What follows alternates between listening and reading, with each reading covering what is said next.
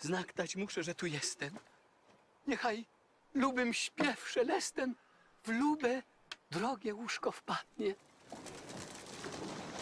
Ach, jak anioł śpiewam ładnie. Córuś moja, dziecię moje, co u ciebie szepcze? Pani matko, dobrodziejko, kotek mleko chłepcze. Oj kot, pani matko, kot, kot, narobił mi w pokoiku łoskot. Córuś moja... Cóż u czarta, ty spokojny? Kiedy rejent mnie napada i otwartej żąda wojny, lecz godnego ma sąsiada. Dalej, żwawo! Niech kto żyje! Biegnie, pędzi! Zgania, bije! Cóż się stało?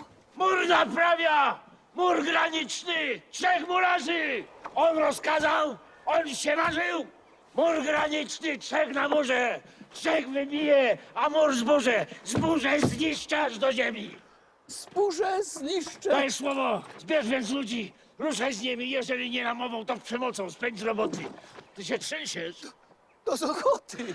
Ale czekaj, słuchaj w przody mojej szczytnej, pięknej ody. Co? Tak. Ody do pokoju. A jeżeli żądza boju nie umilknie na głos muzy, Zostań, ale... pewne guzy.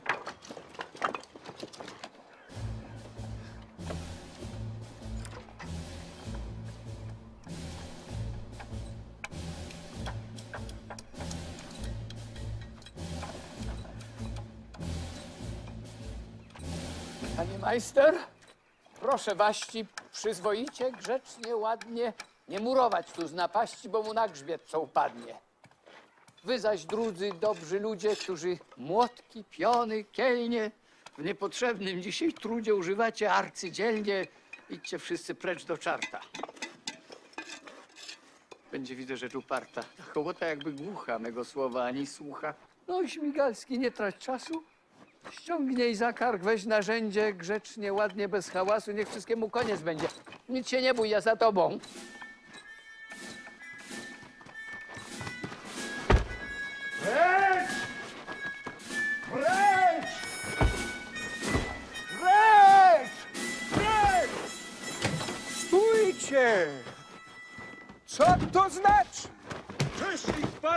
Kazać raczy, aby muru nie kończono. Tak jest! Każę, bo mam prawo! Dalej lepszu! Dalej zławo! Jakie prawo? Jak kupiono mur graniczny, tak zostanie! Ależ luby! Miły panie, to szaleństwo z waszej strony. I mur będzie naprawiony! Wprzódy trupem go zaścielę! Kończcie śmiało, przyjaciele, garćcie ze mną próżnym krzykiem. Chcesz więc bójki? O, mój cześniku, mój sąsiedzie, luby, miły, przestań też być rozbójnikiem. Co? Jak? Żwawo! Bij co siły! Panie majster, ja w obronie! Nic się nie bój, niechaj bije, kiedy go tak święcą dłonie! Dobrze, dobrze, poczuł pryniot, tak lepiej! Coś się wlezie! Nic się nie bój, tego trzeba! Niechaj bije, świat nie zginie! Ja cześnika za to skryję, gdzie nie widać ziemi, nieba! Hej, serwacy! Daj gwintówkę! Niechaj strącę tę makówkę! Prędko! Aha! Ugas krusta! No, Śmigalski, dosyć będzie. Daj pół złotka albo złoty paserunku dla hołoty, ale zabierz im narzędzie. Dosyć, dosyć na dziś będzie.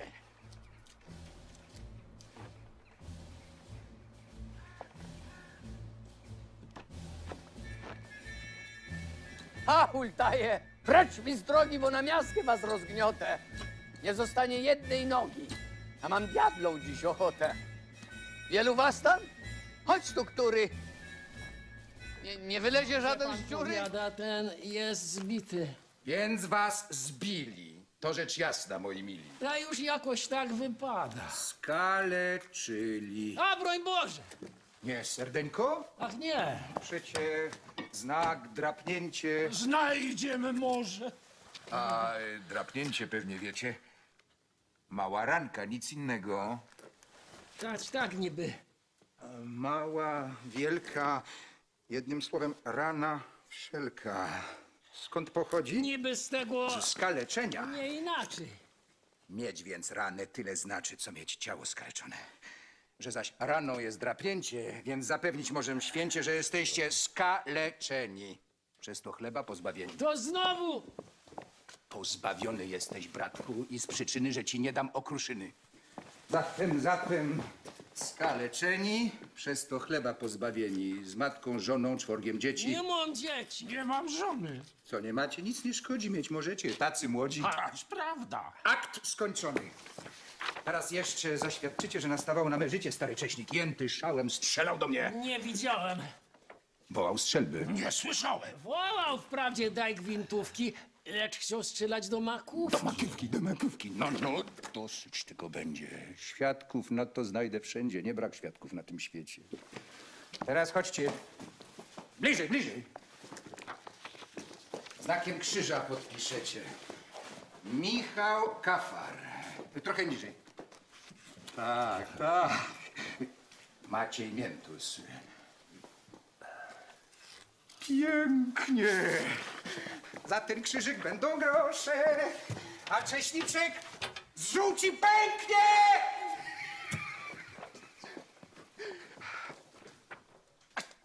Najpokorniej teraz proszę. Coś z dawnego nam przypadnie. Cześnik wszystko będzie płacił. Jakoś, panie, to nieładnie. Byleś wasze nic nie stracił. Tum pracował. Idźże z Bogiem, bo cię poznasz z moim progiem. Zapłacę! Każdy powie. Idź, serdeńko, bo cię trzepnę! Przecie! Bądźcie zdrowi, dobrzy ludzie, bądźcie zdrowi! Czapkę przedam, pas zastawię, a cześnika stąd wykurzę! Będzie potem o tej sprawie na Wołowej pisał skórze! Wiedziałżeś, że pod stoli Czepiersiński, mój mąż trzeci, niech nad duszą Bóg mu świeci, zaślubiwszy mnie na wiosnę, już w jesieni leżał w grobie. Tak, tak, y, przypominam sobie. Oddał ducha na mym łonie. Oddał? Tak, tak, oddał pewnie. Zapłakałam zrazu rzewnie. Nie mieć męża mocno boli, lecz i smutek w czasie tonie. Więc utonął pan pod stoli? Cóż powiada? Nie powiada? Dobrze, zatem odejść muszę. Co on myśli? Co on gada?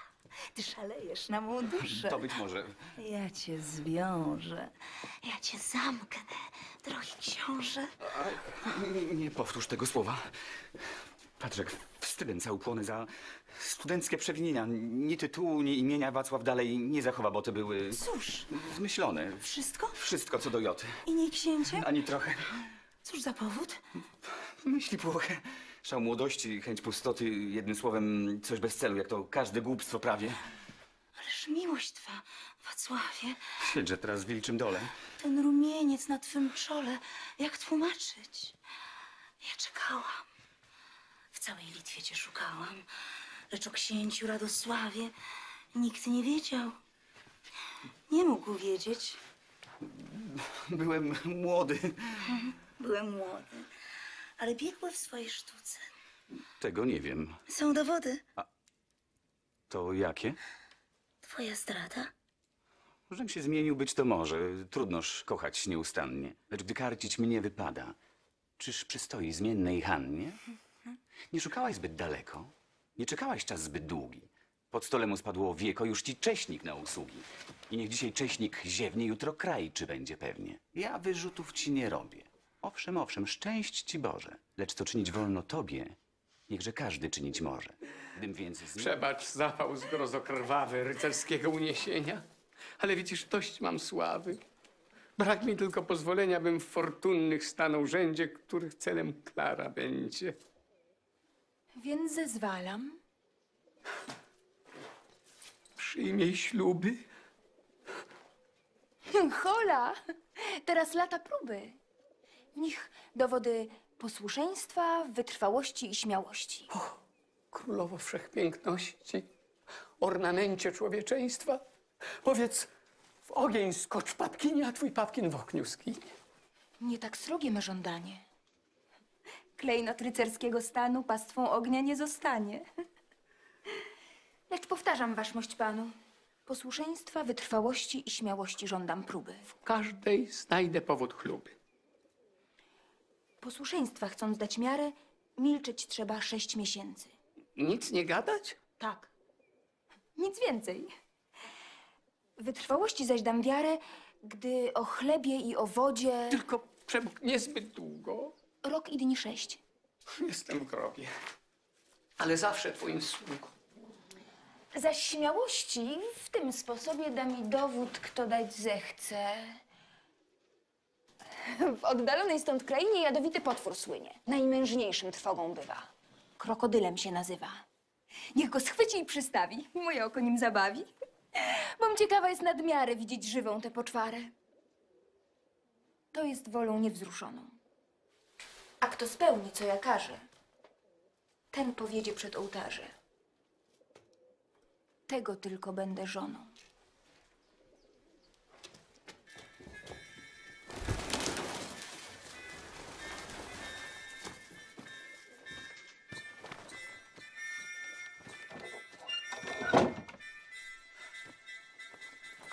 Krokodyla, tylko tyle.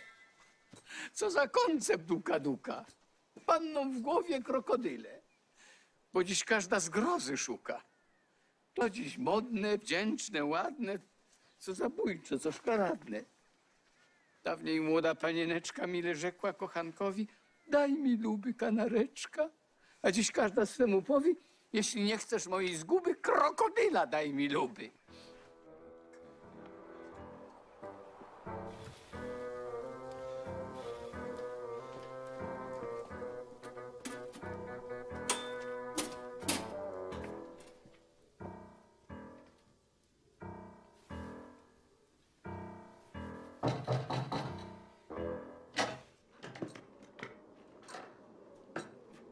Wolnoż wstąpić?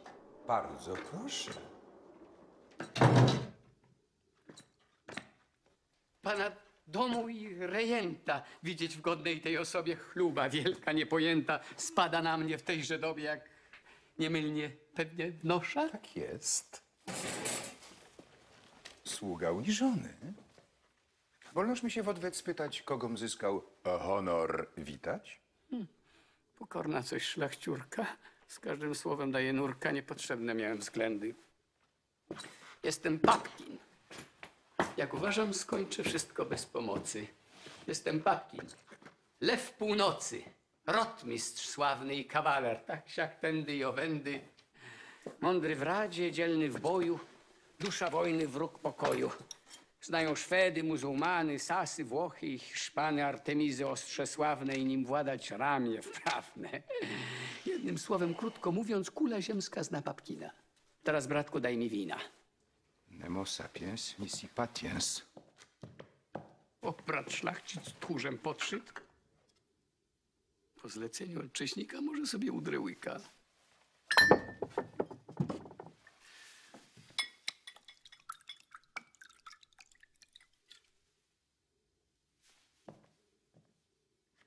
Cień kurz, deresz. Na to śmiało.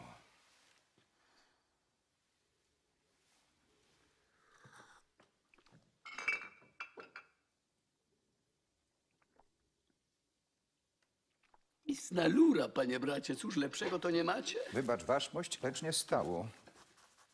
Otóż to jest szlachta nasza. Siedzi na wsi, sieje, wieje, zrzędzi, nudzi, gdyra, łaja, dać wina to nie staje. Albo jeśli przyjdzie flasza, samą maścią już przestrasza. Potem prosi, jeśli łaska. Nie proś, nie nudź, chreczko sieju, ale lepszego daj u diaska. Ależ mości dobrodzieju. Mętne, kwaśne nad pojęcie, istna lura, mój rejęcie. Cierpliwości wiele trzeba. Niech się dzieje wola nieba. Zwiedź piwnice wszystkie moje, gdzie z pół świata masz napoje, gdzie sto beczek stoi rzędem. Jeśli znajdziesz co takiego, dam ci, bratku, konia z rzędem. Pozwól spytać, panie drogi, gdyż nieznana mi przyczyna, co w nikczemne moje progi Marsowego wiedzie syna? Co chcesz wiedzieć? Proszę o to. Więc staje tu wiec niecnoto. Strony jaśnie wielmożnego Cześnika Raptusiewicza, co go ranku dzisiejszego twych sługalców sprośna dzicza, godna jednak pryncypała, w jego zamku napaść śmiała. Mów, że waszmość trochę ciszej. Jego sługa dobrze słyszy. Mówię zawsze podług woli, Ależ bo mnie głowa boli. że tam komu w uszach stryka, albo że tam czyj łeb chory, przez to nigdy w pieśń słowika nie odmienią głos stentory. Ależ bo ja mam i ludzi. Każę oknem cię wyrzucić, a tam dobry kawał z góry. Nie trzeba. Jest tam który? Hola! Niech się pan nie trudzi. Pan jak piórko stąd wyjedzie. Czekać w czterech tu za drzwiami. Ależ na cóż to sąsiedzie tej parady między nami? Teraz słucham waszmość pana. Bardzo proszę. Bardzo proszę. Jakaż czynność jest mu dana? Jesteś trochę nadto żywy. Nie wiedziałem, Bóg mi świadkiem, że tak bardzo masz słuch tkliwy. Przestrzeż, proszę, gdy przypadkiem jakie słówko głośniej powiem. Czy się prędko rzeczy dowiem? Zaraz. Prosi. A? Czy głośniej? Cze- Cześnik prosi. To jest raczej cze- cześnik wnosi. Żeby skończyć w jednej chwili kontrowersją. Co zrobili. No dobrze mówię, co, co zrobili ko- kontrowersją, jak rzecz znana, że tak e, to jest, że sprzy, sprzy, sprzyja. To się jakiś wzrok szatana, cały język w trąbkę zwija. Ja nie jestem pojąć w stanie. Waszmość prawież zbyt zawiło. Bo to. Bo te. wy- Wybacz, panie, wino trochę mocne było, a nie jestem zbyt wymowny. Czy tych czterech jeszcze stoi? Jednym słowem, mój szanowny, dobry sąsiad czego żąda? Lecz się poseł trochę. Bój? Bądź serdeńko bez obawy. Więc Cześnika prośba niesie, abyś waszmość cirka kwartam u trzech kopców w czarnym lesie stanął z szablą do rozprawy.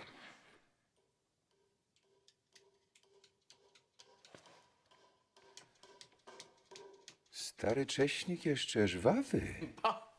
To wszyscy wiedzą przecie, że nie mylne jego ciosy. Wszakże w całym już powiecie pokarbował szlachcie nosy, tylko jeszcze... Ciszej, proszę. To prawda, ciszej.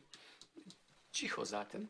Jego grzeczną prośbę wnoszę i dołączam moją własną o odpowiedź krótką, jasną. Tę listownię mu udzielę, ale jakże to się zgadza? Wszak ci jutro ma wesele. Tam to temu nie przeszkadza. Rano pierścień, w pół dnia szabla, wieczór kielich, w nocy... Cicho. Prawda, cicho. Sprawa diabla. Ani murmuru. Czy mnie licho tu przyniosło w takie szpony? Wielki afekt przyszłej żony? Fiu, fiu, fiu, także z miłości trzykroć na dzień wpada w mdłości. Cześnik także rozogniony jak gromnica ku niej pała. Będzie para doskonała. A że wierna w każdej sprawie, ręce, nogi w zakład stawię. Z listu się dowiem.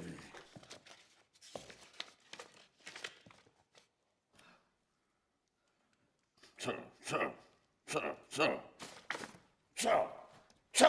Co? Co? Co? Co? Co? Co? To, to, to, to Od Stolina! nam skrewiła, Do rejenta! zabłądziła. Do rejenta! Do rejenta! I chcę, chcę pójść Za Wacława. I tyś mi czączną przeklęta! Ale krótka będzie sprawa. O, płci zdradna. Czci nie warta, bo byś była jak ta karta w moim ręku teraz. Cała, tak tu. Pyszna by się miała. Utarłbym cię w proch z kretesem, ale czasu nie chcę tracić. Do weselnej sarabandy muszę z im zapłacić. Niech im zagra, a odrucha, aż się rejent w kółko zwinie. Pozna szlachcic po festynie, jak się panów kasze dmucha. Hola, córy! Hej, dworzanie! Dalej za mną, panie! Jaśnie panu wszystko w świecie tak jest znane, jakby komu mój paniczu w własnym domu. Otru, proszę, co za psota. Jakaż wasza teraz rada? Robić, począć co wypada? Po księdza posłać trzeba. Proszę, proszę. To nie cnota. Ten testament wręczę tobie. Racz posłuchać jakby matka i zapłakać na mym grobie. Ja, Józef Papkin, syn mego ojca Jana Papkina. Jana. Jana. Jan mu było, będąc zupełnie zdrów na ciele i umyśle, ale nie mogąc wiedzieć, kiedy umrę. Oczywiście. Bo jestem otruty przez rejenta Milczka w lampce wina. W lampce wina! W lampce wina! Robię ten testament, czyli ostatnie rozporządzenie mojego ruchomego i nieruchomego majątku. Nieruchomym rozporządzić nie mogę, bo żadnego nie ma. Nie mogę. Ruchomości zaś tak rozdaję. Tej, którą zawsze kochał, czcił, szanował i ubóstwiał. Jaśnie wielmożnej Klarze Raptusiewiczównie, starościance Zakroczymskiej, daruje angielską gitarę i rzadką kolekcję motyli, będącą teraz w zastawie. Artemizę, Cześnikowi dać ją chciałem, ale teraz przemazałem. Artemizę dostanie najdzielniejszy rycerz w Europie pod warunkiem, aby pomnik postawił na mym grobie. Z resztą ruchomości chcę być pochowany. Jaśnie wielmożnego Cześnika zaś i jaśnie wielmożną starościankę jako egzekutorów testamentu suplikuję, aby moje wszystkie długi, jakie się tylko pokażą, nie płacili. Gdyż chcę przez to braciom moim różnego stanu i wyznania pozostawić po sobie pamiątkę. Józef Papkin. Józef Papkin incognito. Na tytuły miejsca nie ma. Weź. Hola, hola, bociu panie. Objechałem jak Martnika. Cóż złego mi się stanie? Widzę dużo przeciwnika, lecz nie myślcie, że się boję. Jeśli zbójca masz mnie, stoję. Ale jeśliś człowiek prawy, jaką taką daj szablinę w Bogu wiarę, że nie zginę. Lubię, chłopcze, żeś mi żwawy. Lecz nie o tym teraz mowa. Daj więc baczność na me słowa. Rent wykradł narzeczone i chce tobie dać za żonę. Miałby tryumf w tym sposobie, lecz ja umiem radzić sobie. Lub do turmy pójdziesz na dno, gdzieże siedzisz ciężko zgadną, albo rękę oddasz klarze. Tobie żonka, niby nimfa, pod stolinie grochowianka, rejentowi tęga fimfa, a mnie zemsta doskonała. Tak się skończy sprawa cała. Ale... Tutaj nie ma ale. Zaraz, Zaraz albo wcale. możesz wierzyć? To wierzmy. Ślub brać dziś? Więc bierzmy. Zatem rękę daj dziewicy. Nie od tego widzę ona.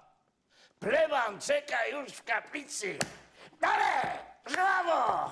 Rejent, skłona.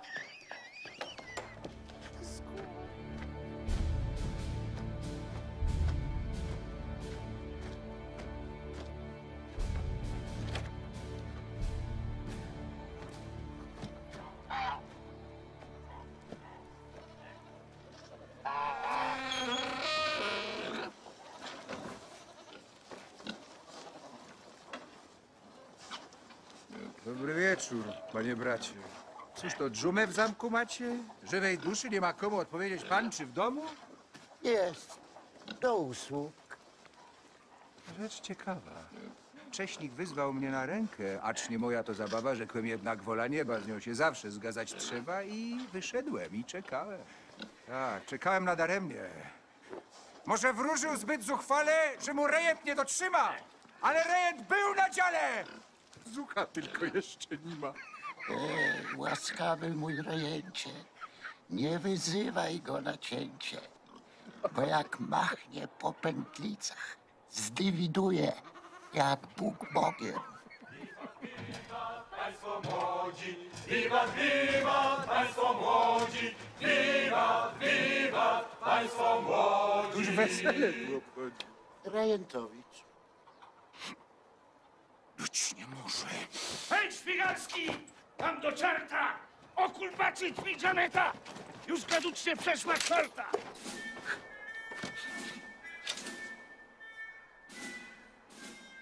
Nie bądź mnie na pokuszenie. Ojcu mój wielki Boże. Wszak gdy wstąpił w progi moje, włos mu z głowy spaść nie może. Czego żądasz? Mego syna. Rozkosz mi jedyna. Będziesz zadość miał z tej strony. Ale z żoną czy bez żony? To za wiele! To za wiele! Tyś mi ukradł moją wdowę, by ją zmienić na synowe. Jam zatrzymał twego syna, by mu sprawić tu wesele. Masz więc byka za jędyka. Ach, mój ojcze. Ach, mój stryju. Niech się skończy ta zawiłość. Przebacz, ojcze. I wzajemną pobłogosław naszą miłość. Stań, serdeńko. Chodź ze mną! Mamże wierzyć? Co się dzieje? Wacław z Klarą? O, szaleje. Tak jest. Wierzę. Już się stało. Więc wam powiem. Nie mało. Chciałam za mąż pójść czym prędzej, by nie zostać całkiem w nędzy. Ów majątek zapisany na czas tylko był mi dany, a w istotnym wiecznym darze dziś przypada szczęsnej Klarze. Dwa majątki, kąsek gładki. Coś stryjowi żal tej gratki. Zamienił stryjek za siekierkę kije. Ale przez to dziś nie tracę. U rejenta sto tysięcy. Nie. Ja z mego te zapłacę. Nie opieraj się już więcej. Swego gniewu zwalcz ostatki. Pobłogosław twoje dziadki. Niech się dzieje wola nieba. Z nią się zawsze zgadzać trzeba.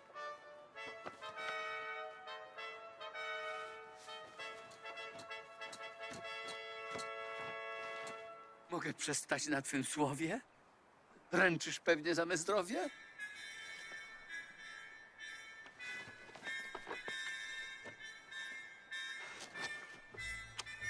Teraz wzywam waszmość pana, każ nam przynieść roztruchana. Niech nam zagrzmią i fanfary. Wypijemy pierwszej pary.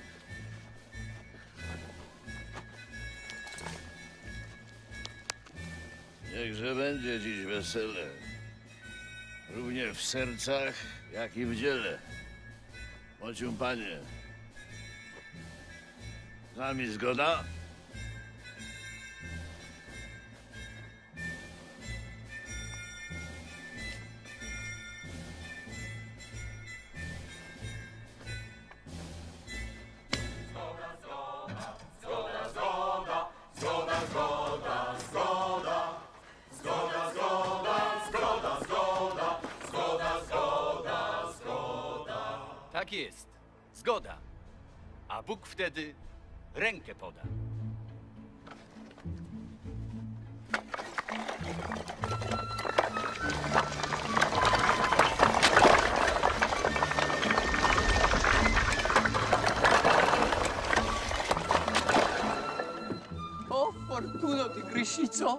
I trucizna, i wesele, to za wiele, to za wiele.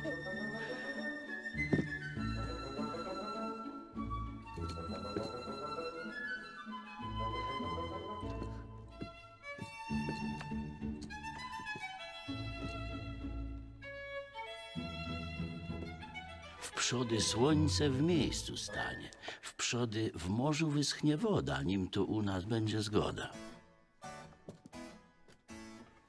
Niech się dzieje wola nieba. Z nią się zawsze zgadzać trzeba.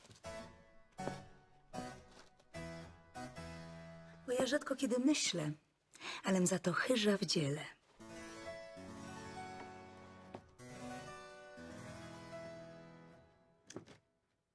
Co on sobie tylko, proszę, mógł do tego by upatrzyć?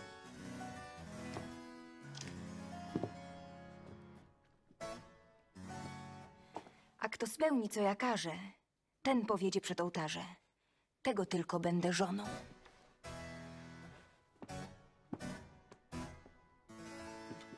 Czy nie byłoby sposobu, ustąpiwszy ze stron obu, zapomniawszy przeszłe szkody, do sąsiedzkiej wrócić zgody?